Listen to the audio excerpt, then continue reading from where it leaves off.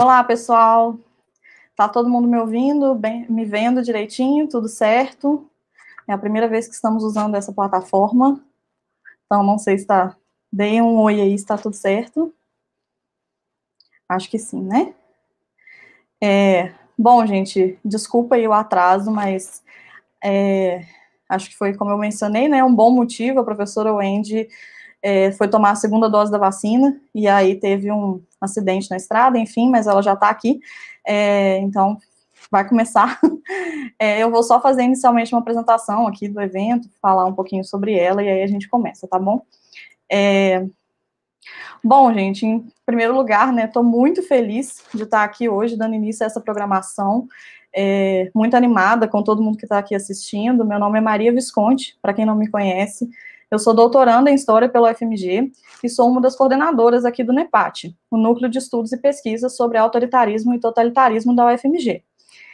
E hoje a gente vai dar início ao evento internacional O que Resta da Suástica, Nazismo, Negacionismo e Memória, que é um evento que tem por objetivo trazer algumas reflexões e debates sobre os perigos das permanências da ideologia e do discurso nazista na atualidade, e também construir algumas discussões aí em torno do Terceiro Reich, pensando em novas abordagens e caminhos de compreensão. De novo, estou muito feliz de estar aqui falando sobre isso. Vou dar algumas informações aqui muito rapidamente, antes da gente começar. É, essa conferência vai ser realizada em inglês, e depois a gente vai disponibilizar uma versão com legenda em português para ficar mais acessível, tá? É, a gente vai abrir para perguntas após o término da fala da professora, e as perguntas vocês podem enviar aqui pelo chat do YouTube. Vocês podem enviar tanto em inglês quanto em português, não faz diferença, e elas serão repassadas para a palestrante. E a gente vai mandar aqui no chat do YouTube, não sei se as meninas já colocaram, é, o formulário de presença. Ele vai ficar sendo passado aqui no chat do YouTube, e através desse formulário que a gente vai fazer a conferência da presença. Lembrando que para vocês ganharem o certificado de ouvinte com 25 horas, vocês precisam participar de 50% das atividades do evento, ou seja, comparecer em quatro das oito mesas. E aí vocês vão receber o certificado em até 30 dias após o fim do evento, tá bom? Então vamos lá. É, a conferência de hoje, a conferência de abertura do nosso evento, denominada As Mulheres do Nazismo, Espectadoras, Colaboradoras e Perpetradoras, tem como objetivo apresentar a participação das alemãs dentro do regime nazista e a sua atuação nos territórios ocupados no leste, pensando nas suas diversas contribuições para o regime, como professoras, secretárias, enfermeiras e esposas. Nem todas se tornaram perpetradoras, mas ignorar a atuação dessas mulheres que participaram da máquina genocida limita severamente a nossa compreensão do Holocausto. A nossa palestrante de hoje é a professora Wendy Lauer, que obteve o título de bacharel na Hamilton College, de doutora pela American University. Ela é professora da cadeira de História na John K. Roth, da Faculdade Claremont McKenna, na Califórnia. É também diretora do Centro Magrublian pelos Direitos Humanos, nessa mesma instituição, e diretora do Comitê Acadêmico do Museu Memorial do Holocausto de Washington. Atualmente, ela está em sabático, atuando como pesquisadora sênior William Rosenberg na Universidade de Yale. O Andy é especialista nos estudos sobre o Holocausto, genocídio e sobre direitos humanos. E ela é autora do livro Hitler's Furies, German Women in the Nazi Kill Fields, que foi publicado em português e foi traduzido como As Mulheres no Nazismo, que estou aqui fazendo um jabazinho, né, básico. É, então, eu vou agora apresentar a professora em inglês, e aí a gente vai dar início, tá bom? É, Today, will host the opening conference of the events What is Left of the Swastika, Nazism, mm. Negationism, and Memory, organized by the coordinations of the Center of Studies and Researches on Authoritarianism and Totalitarianism. The goal of the event is to foster reflections about the dangers of the permanence of the Nazi ideology and discourse in the present days, as mm. well as to better understand the Third Reich, this past that won't pass. The conference that will be held in today is called women of Nazi Germany, bystanders, collaborators, and perpetrators, and intends to show the participation of German women in the Nazi regime and their role in the occupied territories in the East, considering their help in the regime as teachers, secretaries, nurses, and wives. Not all of them become perpetrators, but to ignore the ones who did would severely impact our understanding of the Holocaust. The conference will be held by Professor Wendy Lower, Wendy Lower is the John K. Roth Professor of History at Claremont McKenna College and the Director of the Mgrublian Center for Human Rights at the same institution. She chairs the academic committee of the U.S. Holocaust Memorial Museum. She is also the writer of Hitler's Furies, German Women in the Nazi Killing Fields, which was translated to Portuguese. Professor Wendy, we are very happy and honored to present you today. Thank you so much for accepting our invitation. Please, you can have the word and you can start mm. the presentation. Take as long as you need. Oh, thank you so much. And thank you all for your patience. I'm so sorry I got stuck in traffic. Um, I couldn't control it, and it just I, I really uh, regret it. And I uh, thank you for your um, for tolerating that and for hanging in there and waiting for the presentation. So thank you, thank you, and thank you, Maria, for organizing this. Um, this is a real honor. I'm excited about your conference and about your interest in women in Nazi Germany and, and a better understanding of fascism um, and how it um, involves all sectors of society, men, women, and, and youth too, as, as, as we will probably talk about a little bit today. So let's start with the first slide. I don't know if Maria, if you can pull that up and we're gonna go through, I'm gonna tell you a little bit, some highlights from Hitler's Furies and share with you my process of discovery in the book and how I came to write it and what some of the main findings are in the book. Um, so uh, it actually started in the early 90s when the Soviet Union collapsed. And there were these kinds of documents that I was finding in the former Soviet archives because they were suddenly accessible. And I made my way to Ukraine in the summer of 1992. I went to Ukraine because Hitler and Himmler had their headquarters there. It was the um, every fourth victim um, we now know um, who died in the Holocaust died on the territory. Uh, uh, it was residing in what is the territory of Ukraine today. So I went to Ukraine and I um, was poking around the archives and looking in the archives and discovering um, documents that showed that women, ordinary German women, were in these Eastern territories in what Timothy Snyder calls the bloodlands of the Holocaust. And that just gave me reason to pause because the literature had been placing them at home, um, keeping down the home front and um, not um, embroiled in the actual uh, massacres in the Eastern territories. And so um, these kinds of documents were turning up. This this this actually is a German document. Um, there's the word Geheim there. Um, but it is an order. Um, it's a list of, of, of, female personnel. You can see one, two, three, four, Fräulein, FRL, that's the abbreviation, Frau Berger. So these are women working in an office. These are the secretaries and telephone operators who, in this case, on this document, are stationed in Riga in Latvia. Um, they're managing um, the deportations, the ghetto, um, uh, in Riga itself, um, and you know, kind of the disposition um, dispensation of the of the Jewish population, what's going to happen um, to the Jewish population in implementing what the Nazis called the final solution. So the importance of this document, just to give you an example, is to place women, ordinary clerks, um, secretaries, administrators in the um, eastern territories of the Holocaust outside the camp system um, in the mass shootings and in the ghetto liquidations um, that started in the summer of 1941 in, in these parts. Um, and here they are, and there are two of them that are Fräulein, so that indicates they're single. And indeed, most of the women who were sent to the Eastern Territories to fulfill their labor obligation, or they went out of all different reasons, opportunism, uh, better salary, better pay, um, uh, because they were uh, ideologically committed and wanted to go east and be part of this revolution and part of this campaign. Um, but most of them were um, single women between the ages of 18 and 25. Um, and we're going to talk about that in a moment, what that means as far as a kind of generational cohort that came of age during the Nazi era. So I just initially found this material, but it was not a book yet um, because you don't, you can't write women's history from one set of files or documents. You have to piece it together from a lot of different sources. So it requires quite a bit of detective work.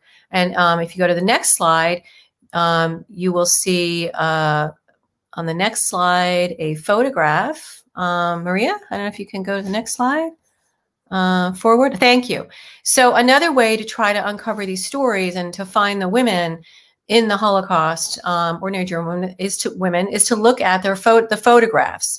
It's one of the most photographs war, and indeed one of the most photographed um, genocide in history.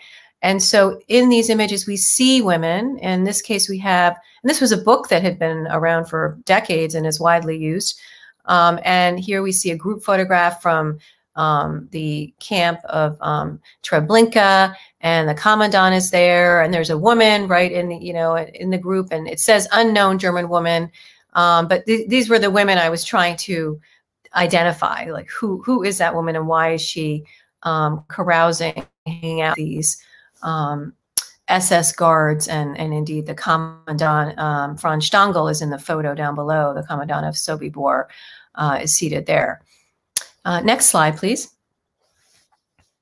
And so th that the the effort was to um, what I embarked on was not only to find the women in the sources and to identify them and to try to figure out what brought them to the Eastern Territories, what did they witness, how did they respond, um, if they encountered um, uh, these anti-Jewish actions, these ghetto liquidations, and to what what roles would they have potentially played um, in the Holocaust at the actual crime scenes. And when I looked into the terrain of the bloodlands of the massacre sites, this is what we're talking about here. This is kind of geographic orientation here of um, the Baltics and Ukraine and Poland and Belarus.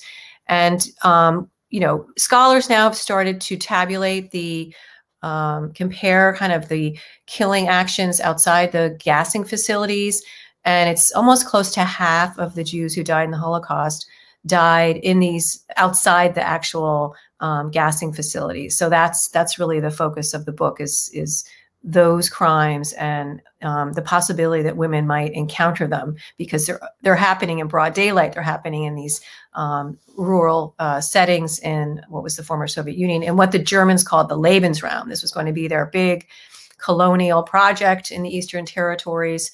Um, it was Hitler's dream to turn this into a kind of utopia, a German only, an Aryan only utopia, which was predicated on the destruction of, of their kind of racial enemies and inferiors, which was going to amount to tens of millions of deaths of Slavic, what they called Untermenschen, um, but also the Jews were their primary um, target in embarking on this colonial genocide.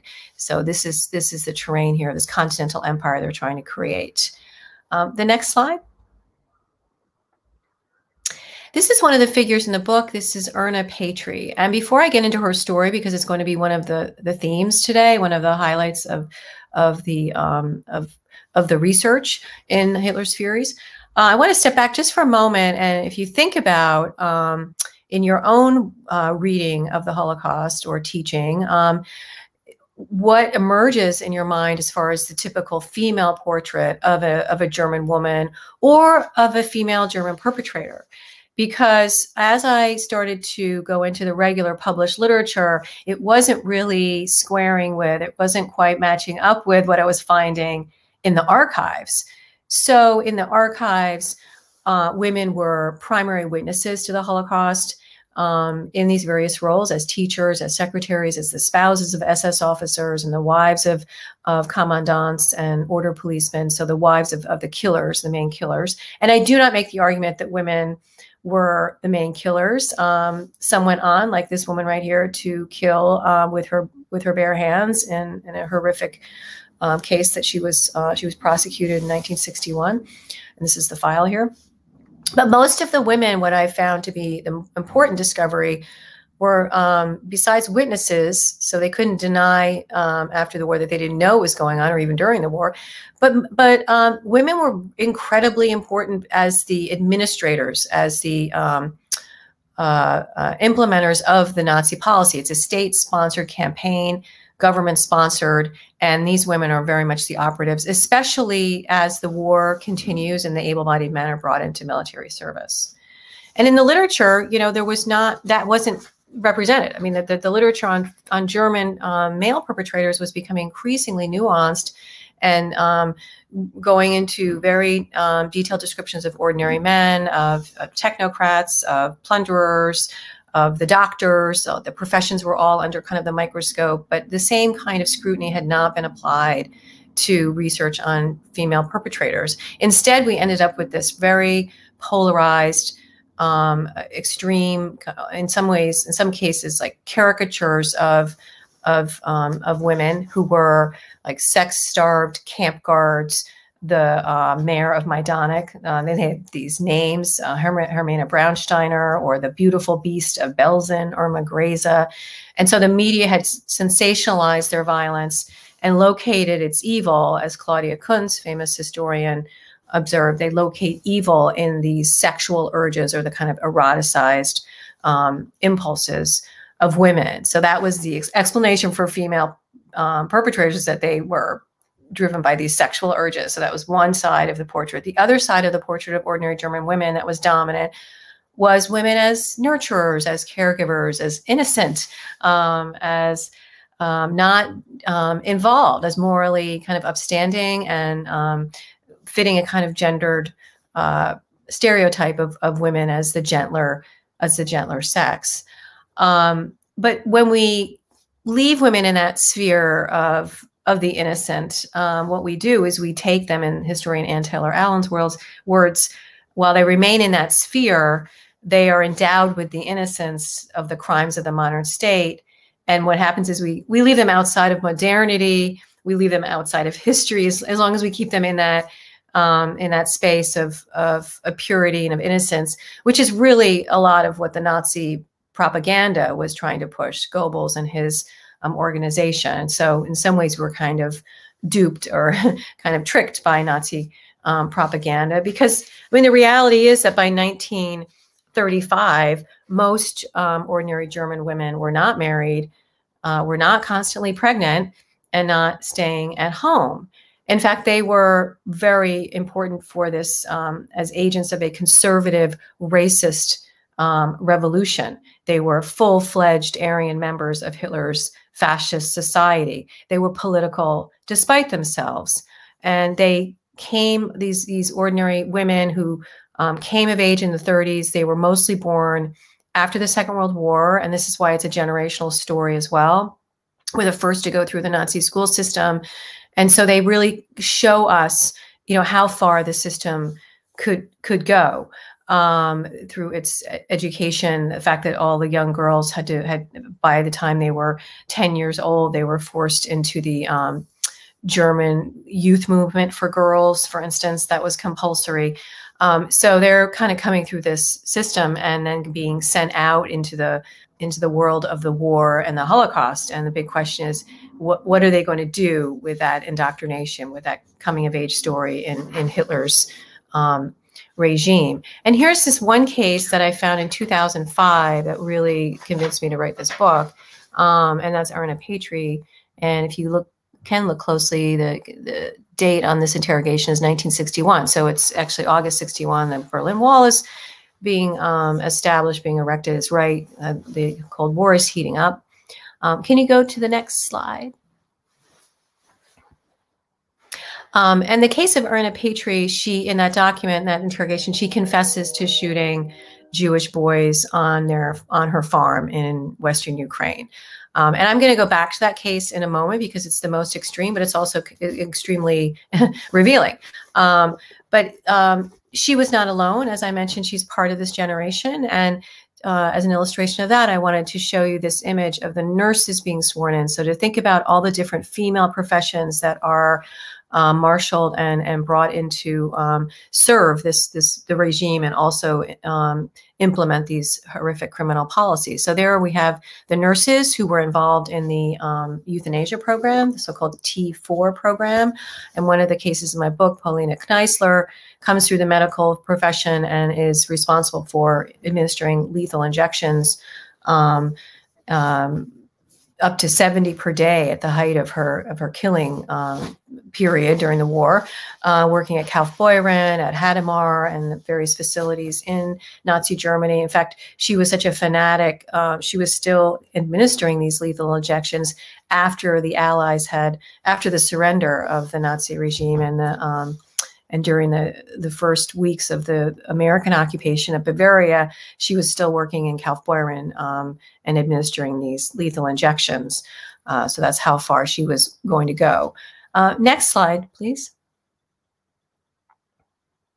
The presence of women, um, and this is an, uh, an illustration of the women who, the nurses again, who are in the battle zones here. This is Hitler, um, right shortly after the invasion of the Soviet Union in 1941. This is August 41. A few weeks later, the Jews of Berdichev are going to be ghettoized, and the mass shootings of those Jews, up to 15,000, are going is, is going to start in mid-September, so about a month after this. But just to show you that um, the women are deliberately kind of in the middle of the action here, being photographed with Hitler and showing off their kind of patriotic service. Uh, next slide. Okay, so the women of this era, um, it's not only a generational story, as I was uh, just referring to, but there's something kind of um, interesting about something, the hybridity as far as what kind of woman is emerging at this time when it is the era of the first success, the first wave of success in the um, kind of feminist movement, or at least the suffragette movement, um, in succeeding in getting the vote after the First World War here in Germany as well in the Soviet Union, the United States. And so they're entering into the public sphere, into the political sphere, going to the voting booths in, in the Weimar um, elections, joining political parties, including obviously the Nazi Party, um, learning about the party platform, including whether it's anti Semitic or it's the Catholic Center Party. But this is their awakening and they're coming out of that private um, um, domain, uh, which I described earlier as the historian described as a kind of domain of innocence. Now they're coming out into the public um, uh, public square and politicking. And here we can see how this kind of combines into an act, an active, politically active, engaged party member. This is Erna Petri during the 1930s. This is from her personal photo album, and it's just striking that she's on this um, motorcycle, um, you know, which is obviously uh, the new uh, uh, vehicle for speed and um, even a kind of liberation or independence. Her husband was part of the automobile club, and so they're very excited. Now she's sitting on this, but she's straddling it, um, and she's also wearing her apron, and she's got her hair pulled up in a bun. So she's this combination of a kind of woman who's part of this radical revolution, but she is conforming to these stereotypes of women as a kind of Hausfrau, as kind of domesticated women. But the but the two can coexist. They're kind of coming together in this in this um, chapter, this historical chapter of the Nazi regime. Uh, next slide. So I wanted to just touch on a couple of cases to give you some highlights of the different reactions, which were varied. Um, Erna Petri on one extreme, who responded violently, and this is a nurse um, who was educated. She actually had a law degree, and um, she during the war is is really conflicted and and when i interviewed her she said oh what could i do i i you know it was just this one person working in this remote um, uh, soldiers home in in ukraine and she's learning um, about all the details of, of, of the Holocaust, uh, the mass shootings in the region, including in the town where she is here in Novgorod-Volynsk. Um, the men here that she's working in this, she's serving them in this home. Um, she's supposed to be, she's not doing any kind of medical uh, she didn't actually undergo any real medical training. She's just supposed to be kind of a socialite um, to serve German food and speak German and give them that cultural experience while they're um, not at home, while they're on their way to the front. Um, and when they're coming back, and these this is just a, a, a retreat, a, a, gathering, a social space. But in that space, they're sharing a lot of stories with her and, and, and vivid details about these um, about these mass shootings as as they um, actually carry them out. Some in some cases, and she um, told me, Annetta Schultz told me that oftentimes conversations with these soldiers got personal fast. They hadn't been around women for a while, um, and they had this intense need to talk. So the women are not only witnesses to these crimes, um, but they're kind of the vessels that are receiving this information. Um, and in this case, Annetta's jotting it down and taking notes and has this sense of justice already from her law degree. And she would, after the war, pursue this. Um, she was the head of the West German um, Female um, Association of Judges, uh, which was a new organization. So she was rather pioneering in that way, a real leader. Um, but she was feeding the information, giving the information to prosecutors um, in West Germany as she encountered some former perpetrators and also these notes that he had, she had taken during the war and, and, letters that she had written. So she wrote a letter to her um, mother in November 41. She'd only been um, uh, on, in the Eastern Front for a few months. Um, and she wrote in November, What Papa says is true. People with no moral inhibitions exude a strange odor. I can now pick out these people, and many of them really do smell like blood. Oh, what an enormous slaughterhouse the world is. And that is an important example of how women responded to the violence in this way. In her in her case, she felt really paralyzed by it, um, that she didn't have a choice, and she continued with her service. Um, actually, she went into into Russia from there. She couldn't go back.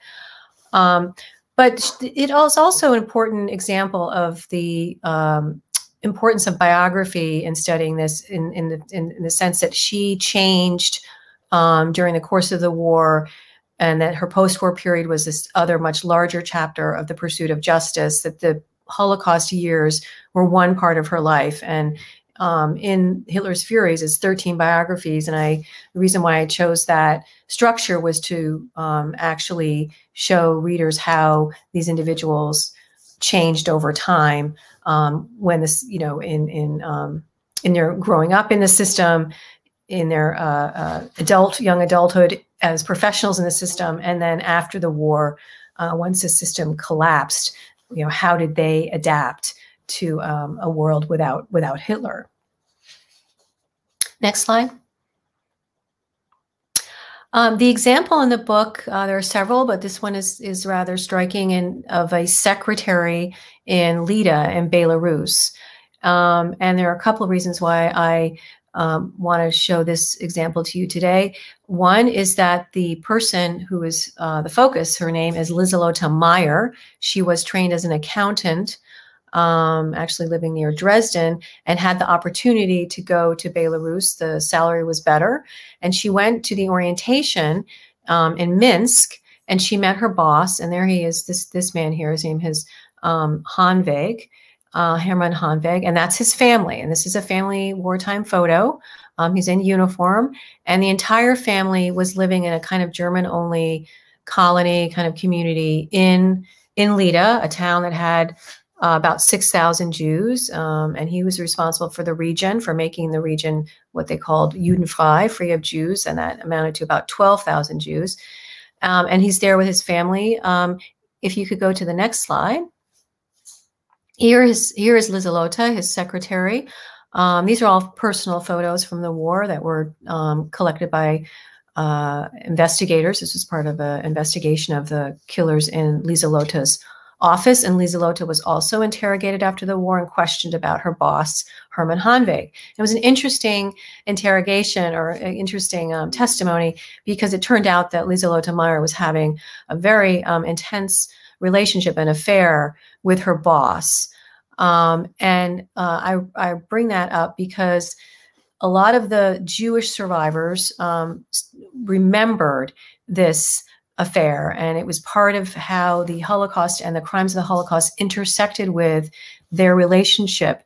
Um, so not only is Liselotte a good example of a very lower level administrator um, who had things like um, she had the key to the safe in the office. So if gold was confiscated or any valuables from the Jews, she, you know, kept uh, um, watch over that and and could um, uh, access that. She also could create the labor ID cards, which were life saving documents um, for the Jews. And there were only really um, two ways to survive in that region, either with a labor ID card or to run to the woods to flee to the woods.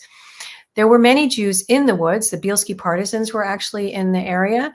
And this is where the um, story of how the everyday um, lives of these administrators intersects um, kind of unexpectedly with, um, with the Holocaust.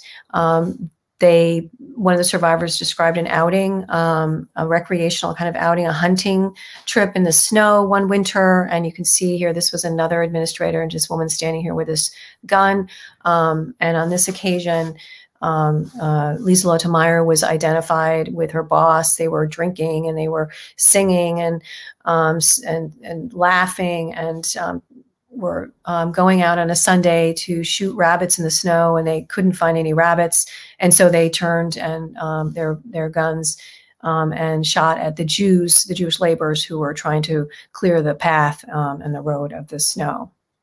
Next slide.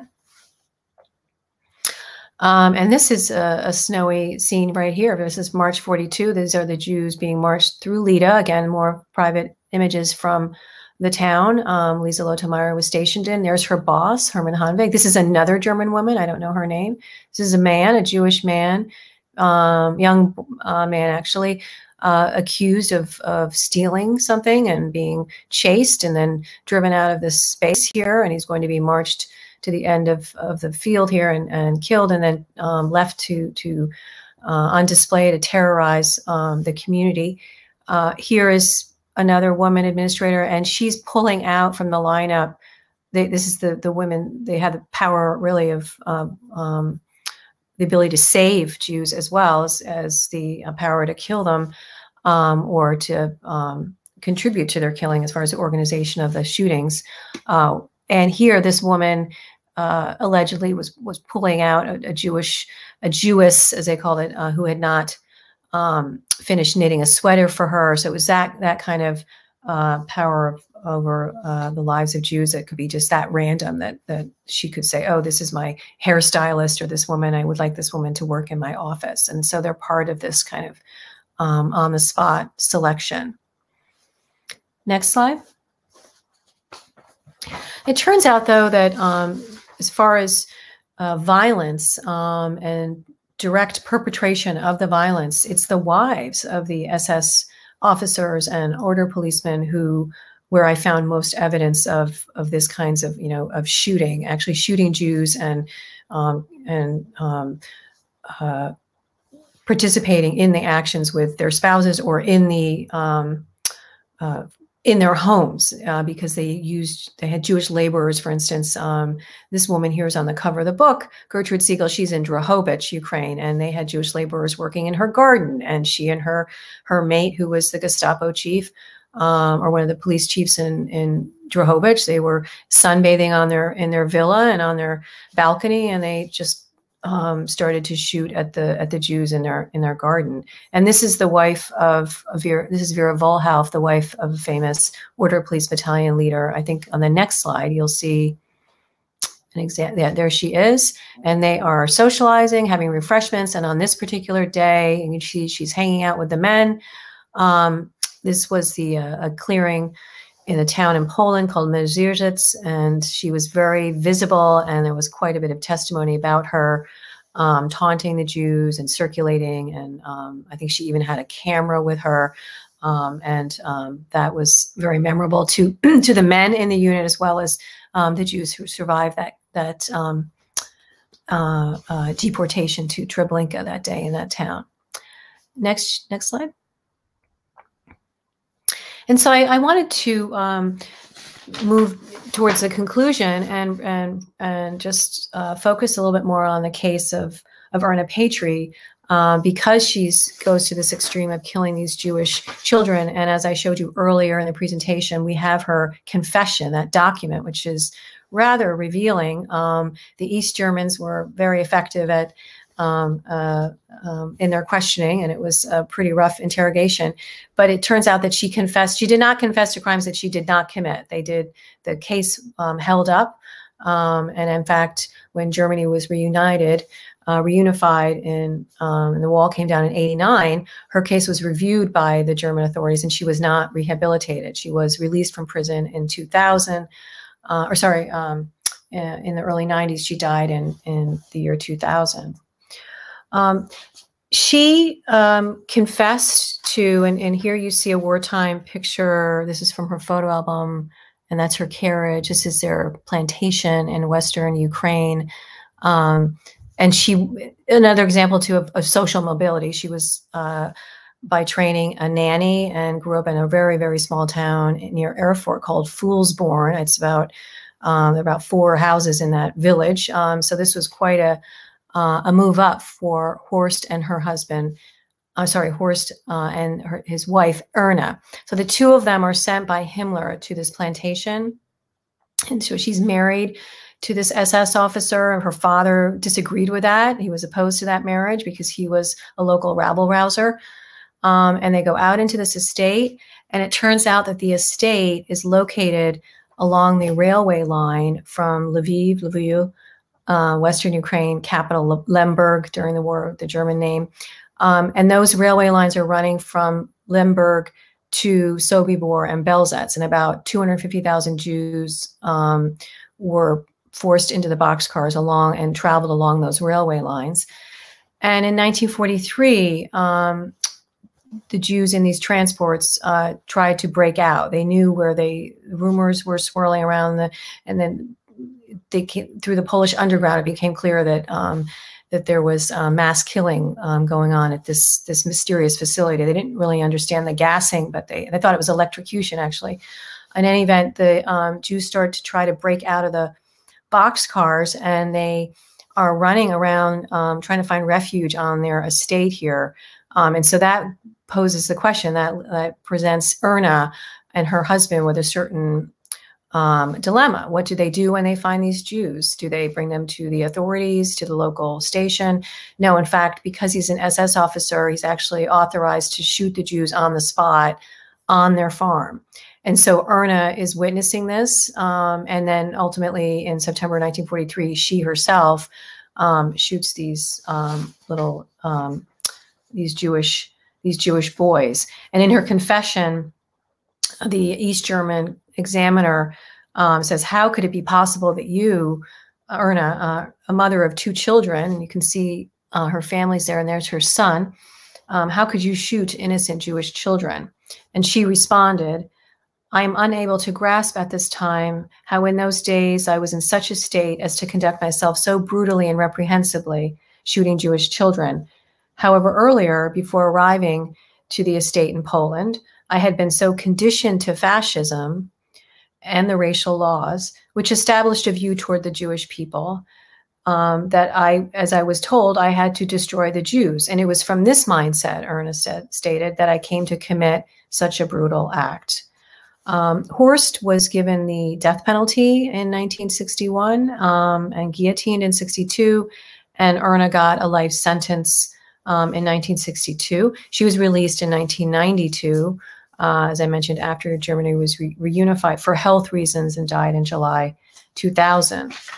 But her um, statement about being a convinced anti Semite uh, was, um, I mean, I uh, found it very persuasive because it turns out that after she was released from prison, she her legal fees were paid by a SS veterans organization called Stille Hilfe, and that was funded, that was kind of organized by Heinrich Himmler's daughter.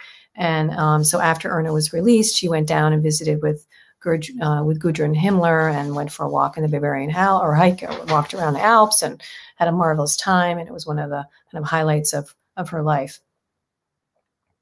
In the book, I explore various explanations for why um, these women were went to this extreme of committing these these murdering, in this case, um, shooting these Jewish children.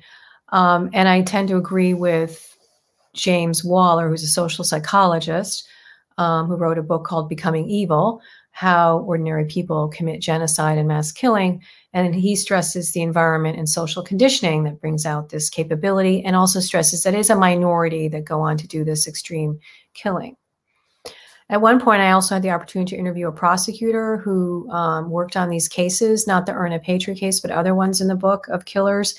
And I asked him, you know, you know, do you think they were um, psychopathic or you know how do you describe explain their killing? And he said the individuals were not insane.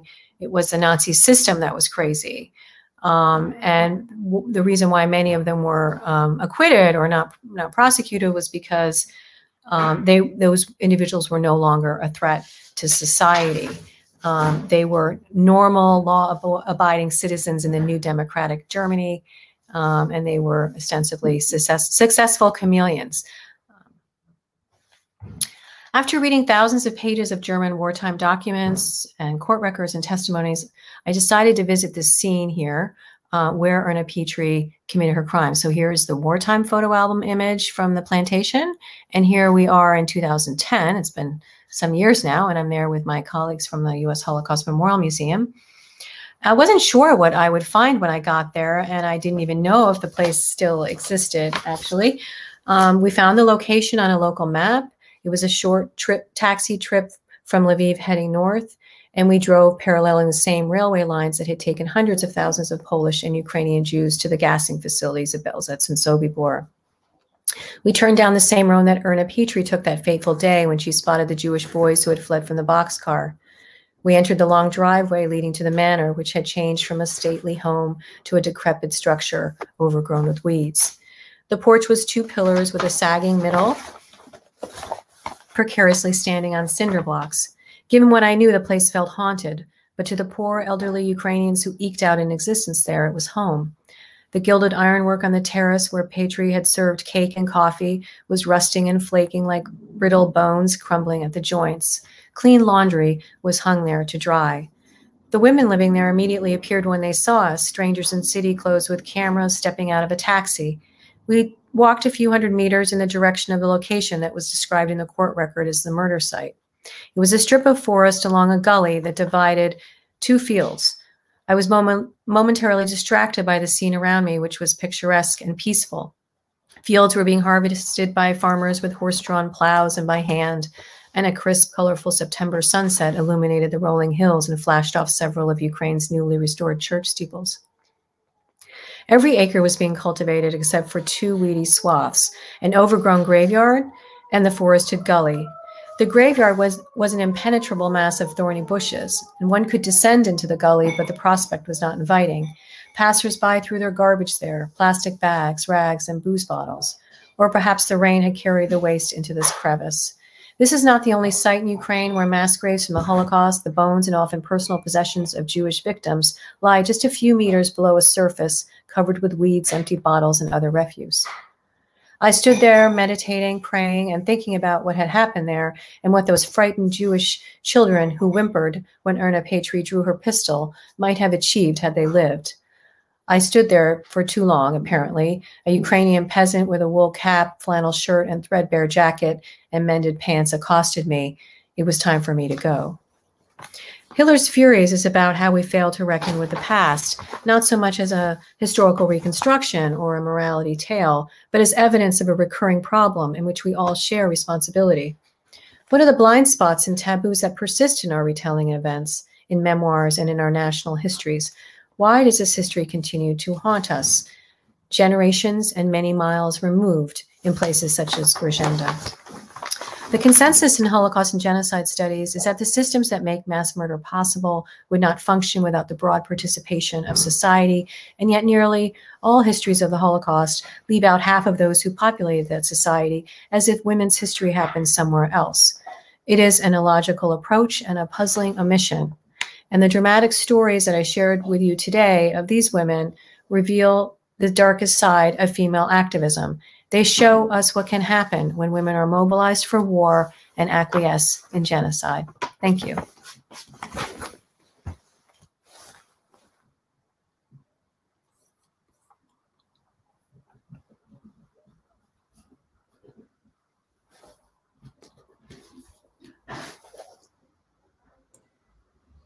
Sorry, I had a technical difficulty here. no worries, no worries. Mm-hmm. Uh, Wendy, thank you so much for your presentation. It was, of course, very good. We already knew. And I invite everyone to buy Wendy's book here in Brazil. We have it translated here. It's called Women of Nazism here, a very small title. so we already have uh, a bunch of questions here if you oh, have great. the time. Mm -hmm. uh, we translated, but uh, I since we had a lot of comments, I couldn't. Uh, I don't think I can put the comments here below, so I'm gonna just read it to you. Okay, is that okay? Sure. Okay. Mm -hmm. Um, so Maria Fernanda is asking, how was maternity-related actions hmm. during the Holocaust? Is there any documents related of the sons of the perpetrators? Can we analyze the impact of their mental configuration or their mental health? Hmm. Oh, that's interesting. Um, there were, well, first of all, um, a couple of questions in, in that question that are yes. One is about the maternity issue, um, right? And this this was this was brought up in the case of um, Vera Wohlauf. Um, and the second question uh, had to do with psychological tests, potentially trying to figure out whether or not they were um, what their uh, if they could be described as clinically, you know, sociopathic or um, um, you know, did they go on to kill? Like, were they serial killers? Were they were they th those kinds of violent types? So on the first question um, about the role of kind of maternity, it's a great question because first of all, I have a colleague who has done some excellent work, and I, I want you to take a note. Her name is Elissa von Joeden-Forgey, F L R G E Y. And when I published my book, we had a couple of conversations about this. And she pointed out something that I didn't really see. I thought that um, the women like Erna Petri, or there was another woman in the in the book, uh, Johanna Altvater, who was a secretary, who was notorious for killing babies and um, by bashing them against the ghetto wall. She went into the infirmary and she went to the children's section in the infirmary. Um, and also other cases in which, you know, Erna kills those children. And I thought they were just, um, that was, they were demonstrating their violence um, through the most vulnerable. They were the most, you know, they could because those children kind of um, trusted them. Uh, when those Jewish boys were shot by Erna Petri, before she carried that out, she, she, allegedly brought them into her kitchen and kind of calmed them down. So I thought it was part of this perverted um, dynamic. Um, in the case of Vera Wohlauf, she was uh, that was a very controversial discussion of her participation because at the time she was pregnant, um, and the men in the unit, uh, Chris Browning has studied very closely, and as well um, Daniel Goldhagen, they were saying after the killing action that it was just uh, an, an, an, affront to them. It was um, shameful. It was it was causing kind of a kind of cognitive dissonance to see this this a pregnant woman running around participating in this in this violent way in this in the midst of this kind of pogrom. um, I actually so as part of the discourse, so how could a pregnant woman right? Or when the interrogator says, How could you, a mother of two, right, Erna Petri, kill these children? So the maternal piece of this seems like it's inconsistent with the violent part of it. But in fact, um, uh, two things. First of all, Vera Wohlauf was pregnant, but I actually looked into her personnel file and she was uh, like six weeks pregnant with her first child uh, at that time of that um, uh, Aktion, as the Germans called it. And so the men were talking about her as if she was like nine months pregnant, like on full display, and that everybody knew. People knew she was pregnant because because she ultimately had a child and she was part of that community, and her mate was their boss, um, and she was out there on her honeymoon with him. Um, but she wasn't visibly pregnant at six weeks uh, with her first child. But it just became part of this the the the discourse on this. Um, and and like the other uh, women I described, um, they're uh, notoriously killing the children. And Elissa von Joeden-Forgey says um, actually that this this kind of behavior, she says, is an exercise in genocidal power in which women sought out the gender appropriate tools um, offered from the richness of the domestic sphere that was rife with abusive possibilities. So there, this is again back to kind of what is their the context in which they're doing this outside the camp system. It's within their homes, it's in their gardens, in their kind of domain, and um, it's it's not so much that they're killing children. Um, Elissa would say.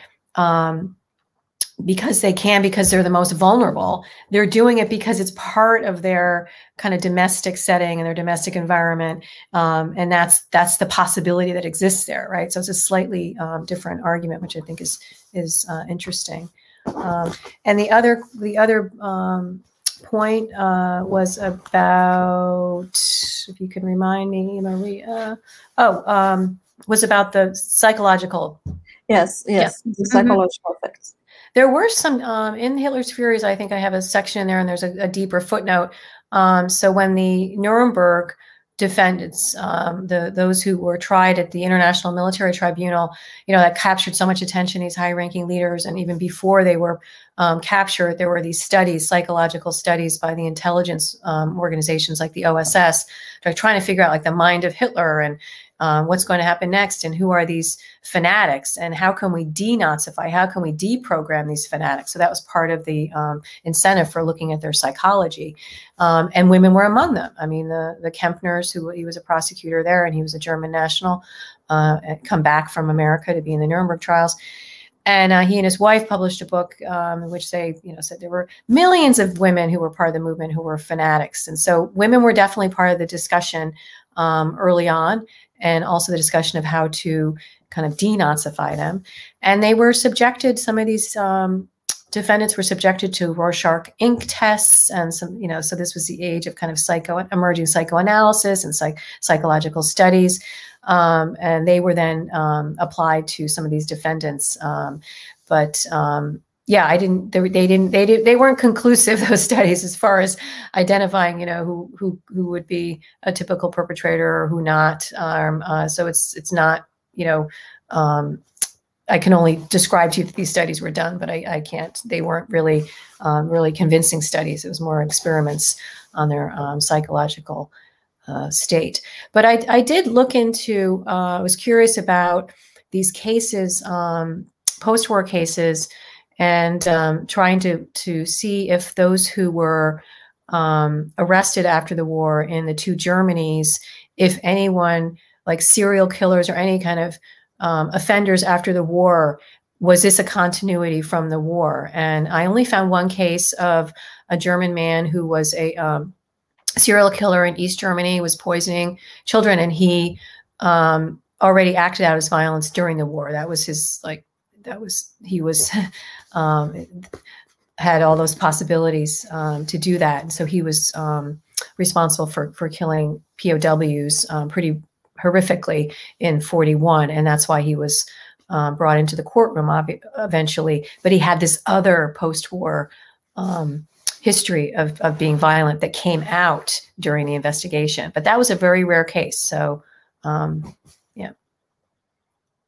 So it's important. This is why the prosecutor told me how important the context is of the um, Nazi regime and then the free democratic Germany and how that completely changed people's behavior, including becoming more more peaceful and less violent. Yes, that's actually very interesting because of the Nuremberg trials, like you said, they really tried to put the Nazis in that box, like psychopaths, and they applied tests for to see if they were crazy and stuff like that. This was very common at the time.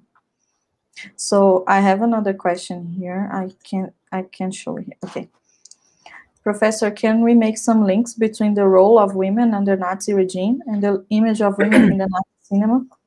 Oh yeah, that's a great, great question. Um, wow, I guess it depends, you know, on some of there's so many different films during the Nazi era. I mean, there's um, uh, I'm thinking of one like J'accuse and, and different uh, feature films that Goebbels sponsored, and you know, mostly presenting them as you know, um, kind of Hollywood starlets and and innocent. The, the mostly is consistent with a lot of the propaganda that they're supporting the men.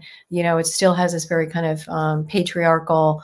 Uh, uh, the woman who's um, you know um, serving the Fuhrer in a kind of biological way, um, as far as you know, having many children and um, being um, up, an upright citizen and a devotee of Hitler. Um, and also um, images of women through, say, Leni Riefenstahl is so important at this time as a as a prominent female um, cultural leader, if you want to call her that, in the uh, during the Nazi regime as a filmmaker. Um, and of course, she did these pretty um, uh, amazing technical films and also kind of nature films, and was this kind of pioneer. So you also have the woman who's skiing and is really robust and strong and um, you know independent. So it's again when i think of the picture of of erna with these kinds of hybrid forms of the very um, strong german woman but also you know that um, within this patriarchal uh, context still still lesser than the male still defined by her biology and that's her main contribution as as one of like hitler said our fellow combatants their role is to to to, to breed you know to bring babies to the fuhrer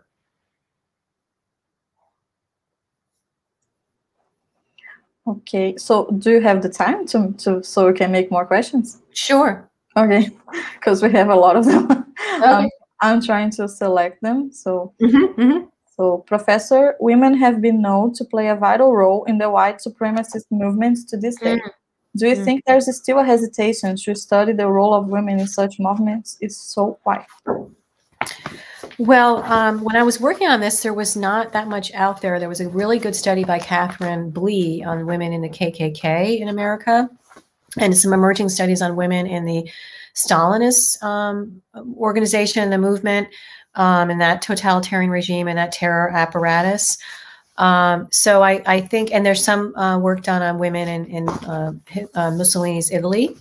Um, but I uh, only recently was on a program with a woman named Sayward Darby um, uh, a couple of years ago, and her book just came out last year on women in these um, currently in the um, far right here in America and the white supremacist movement. She was kind of interviewing them and following them around and all of that. So I highly recommend Sayward Darby's work. She published a an article first in the Atlantic. You can find it on the internet, so you can get kind of get the thrust of her argument and some of her evidence there. But the, you know, I definitely recommend the book.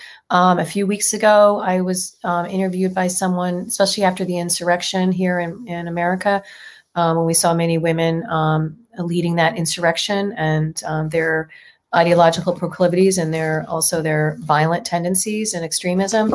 Um, so there's absolutely, yeah, there's more work going on there. Uh, a little bit more um, in America on the history of lynching and violent racism, um, systemic racism, and the kind of plantation system here. More work has been done on that as well, um, going back to the late 19th century uh, and, and, the importance of women's um, uh, presence and their and their contributions there. So uh, it has been slow um, going, but I think it's picking up steam. And I think you know that the fact that we are in a situation now where right wing extremism is really on full in, on full display and has get has gained this momentum, and it's been going on for for decades now with the um, Tea um, uh, you know Tea Party movement and, and people like Michelle Bachmann and Sarah Palin and and now um, uh, uh, Marjorie Greene and you know so uh, we've you know there are some cases now that are making it more visible and so people are looking at scrutinizing this a little bit more. And most of it the work that's being done on this is of late is journalistic. But i i, uh, I think we're going to see more academic studies on this. Uh, there's a question here that i think is very good. How much do you think that the media influence in how we see the women during this time Oh, that's a, a huge, huge influence. Um, if there is a dominant, um, a kind of trope, a kind of dominant image, like the Nazi propaganda images um, that were so uh, prevalent um, and even persisted, you know, into the post-war period of the woman as the kind of nurturer, um, and that, you know, that that was a kind of thing that was just appearing as an illustration in a textbook without any commentary. It was just people just kind of, you know, just bought into it really. Um, and I think now um, there's just a better critical uh, uh, examination, both because media studies has developed a more critical eye, and I think that people are are uh, realizing too with this Holocaust research um, when we get to these cases of really violent women that it just doesn't match up with that. So it you know raises all these questions, um, which is you know what, why I uh, worked on this on this book. Um, but absolutely. Um, and continues to because as I started out with the image of the camp guards that are apps that came out of the journalistic coverage, the British newspapers, the um, Allied newspapers of these, you know, crazed camp guards with, you know, tattooed um, skin lampshades and um, and it, just the imagery of them. They look, you know, kind of crazed. Or even the even the movie The Reader is is a weird depiction as a distortion of uh, an ordinary uh, German female camp guard, and she's illiterate and she's you know and the sex comes into that as well she's having that relationship with that young man and somehow that's like helping us understand why she um, you know allowed that atrocity to happen at the end of the war with the at the church you know and so that that whole um, uh, film uh, version of that was also playing into these depictions. Yeah. Uh, we have a question here that I'm going to put just a part of it, but Professor, mm -hmm. thank you for your talk. I would like to I would like to ask you if you see the medical pathological discourse such as mental instability or hysteria as a way to discharge women from their responsibility mm -hmm. of mm-hmm. being part of the mm-hmm. Nazi crimes.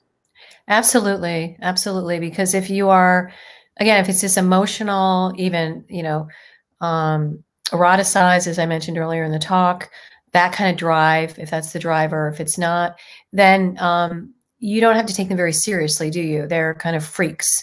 So um, that's different from what I was finding the evidence as far as women who were had these very strong convictions, who were um, you know nationalists, fascists, you know, um, uh, anti-Semites, um, and also their various motivations, ambitious, you know, um, trying to climb the trying to climb the modern bureaucracy, part of the modern system, um, trying to show off their their their um, strength uh, vis-a-vis the other women or the other men.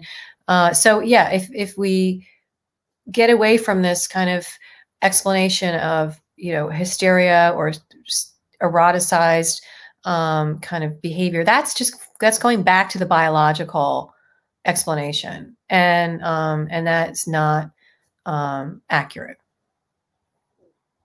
for this for explaining the Holocaust um, in this way. So yeah, and this history.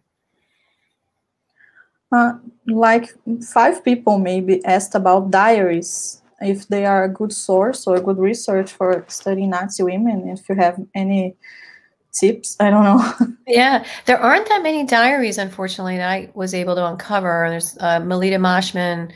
I mean, there are a few, and the letters that I got from Annette Schucking-Homeyer.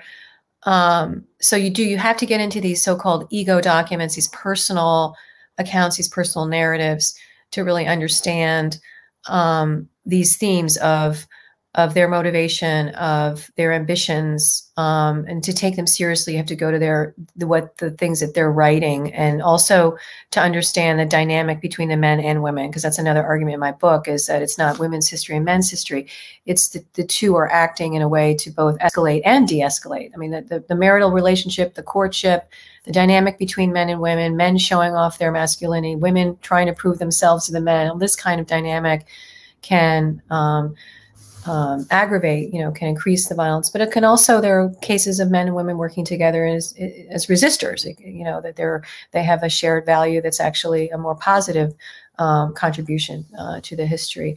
So there are diaries are tough to find. Um, uh, memoirs really were instrumental for me. Uh, the last slide I, that we kind of blipped over at the end was a, a funny little mix of, of, memoirs that I used because um, it turned out that um, as I was writing this, a lot of these women were um, late in their in, in their years, and their families were encouraging them in them to write down their memoirs of their having experienced the most dramatic century historically in Germany, and encouraged to to write down their um, stories.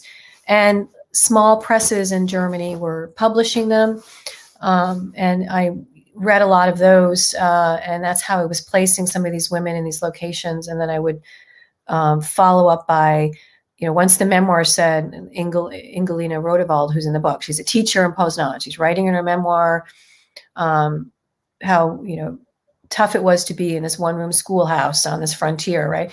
And then, but, but not divulging like what we would say kind of Holocaust history. But then if you place her memoir, you know, the location of her school and her story in Holocaust history and the source of Holocaust history, then you see that there was a camp across the street and and in fact her you know her story does intersect with the holocaust and then would follow up and ask her questions. So memoirs are a great way to also start piecing together the story and also trying to identify your subjects and then potentially follow up with them and their family members to get access to more personal private archives Um, we have a question more about the Nazi regime. How do you see the feminine institutions that already existed, for example, in the NS Frauenschaft, and the way they played a role in the Nazi regime? Mm. Yeah. Uh, well, very important in several respects. First of all, it's a it's a total revolution. So everything, the thing that was most exciting about it, really, or, or exciting for the German community, the Volksgemeinschaft, as it was called, was this kind of sense of unity and purpose. Um, and that everyone, including the youth, were involved in this revolution. And so those women's organizations um, were kind of um, you know, stitched into all of this, um, whether they were welfare workers or they were in these support roles or they were um, coming out into the streets and, and, participating in these parades and flag raising ceremonies or going to the camps. So that kind of activism of involvement um, in which women would say, you know, I want to, I want to become somebody, I want to make something of myself. They had that sense already, um, that idealism and that um, drive. And so all these party organizations are part of their realization of that like, um, and making it exciting. Um, and that then provides a kind of gloss um, for the realities of the really horrific, you know, dark side of all of this. Um, so women were important for creating that kind of legitimacy, um, the sense that this was uh, uh, a worthwhile kind of revolution that you know there was going to be Germany was going to be the land of milk and honey, and they were going to be working the fields, and you know, so uh, that provided that. Uh, also, they provide a lot of moral support to the killers, um, which um, Claudia Koonz has written about extensively. So um, these are all part of the context, part of the the energy and the um, ideas, and they're yes, they're part of part of that uh, phenomenon. Um, I'm gonna put like maybe more two questions and then we can okay. we can finish. Hmm. This one I think is really good. Um, seeing hmm. the example of Erna Petri's, did you think these women perform socially imposed gender roles to minimize their penalties? Hmm. Yeah, um, in the it's a great question from Raphael. Thank you. I like your picture. Um, yeah, so we see this in the interrogations how they're very much aware of um, their audiences, um, you know, their interrogators, and how they can kind of play up um, those those prejudices. So, um, you know, whether it was drama on our part or, or, whether it was genuine or not. I, I mean, Liselotte Meier was crying when she was questioned about her former boss.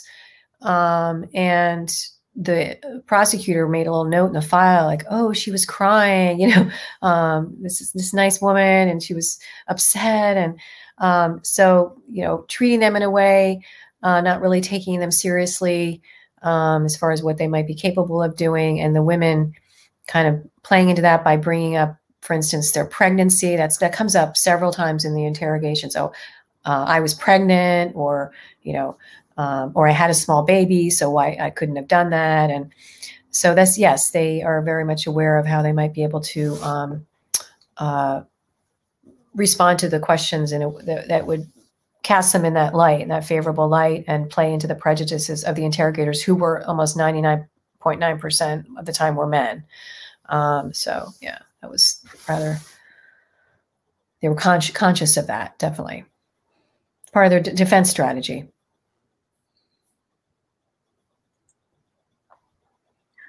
um, this one another people also asked do you believe that the anti-semitic speech reinforced the sexist concepts of nazism hmm. Yes, there are intersections there. That's a great question of the intersection of gender and anti Semitic ideology. Of course, part of that education they had in the school system was to portray Jews as um, preying on innocent German women and their purity, and that they were, excuse me, that they were going to be kind of corrupted or, um, you know, tainted by by the, the touch or the interaction of, of the Jewish man. And, and there's some horrific caricatures of Jewish men or even doctors, um, you know, when they were instituting the ban on Ger- Jewish doctors that they shouldn't be examining um, German women because they were going to be uh, sexually assaulted or something. So um, there's quite a bit there um, of of that of that trope um, that we see gender and anti-Semitism, um, the intersection of that. That's the first thing that comes to mind. But um, it's a good question because there's there's probably if I think about it a little bit longer, I probably can recall another uh, example of that. Yeah.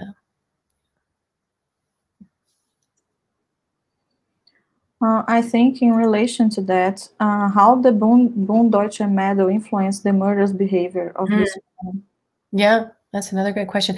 First of all, there um, the bonding that goes on, the kind of camaraderie, the female camaraderie, and the peer pressure that we see in other organized kinds of paramilitary organizations, because that's what it was. I mean, it was um, not only teaching women, young girls, how to cook and sew and and know the the Nuremberg laws and and child care, child rearing courses, and how to find the proper mate, some kind of mating um, system. Um, but also they were put into physical training. I mean, they had actual, they had some, they had these air rifles, but they were actually, you know, especially later on because some of the women were brought into like air defense um, kinds of uh, military operations at the very end. So, yeah, there was also this physical part of it where they were supposed to be, um, their health was also about their physical strength and prowess. Um, and that was inculcated, that was actually um, experienced during these, these years in the BDM. Yeah.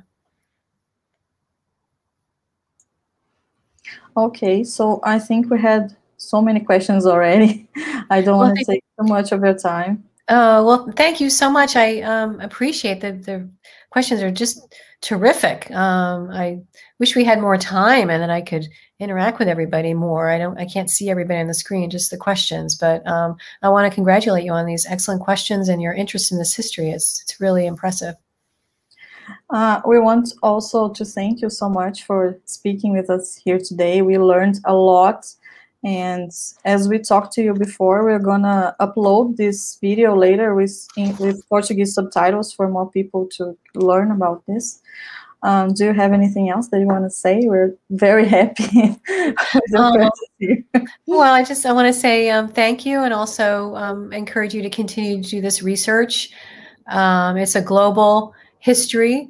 Uh, and there's Brazil has a part in this as well, as far as immigration, both of Jewish uh, victims slash survivors and and perpetrators uh, who ended up in Brazil. So um, yes, it's it's there's a lot of missing history that you know that's in your archives and uh, within the literature in your country of memoir literature, and um, just uh, encourage you to um, examine that a little bit more closely as as well. Yeah, that's actually really good, especially in the times that we're living right now.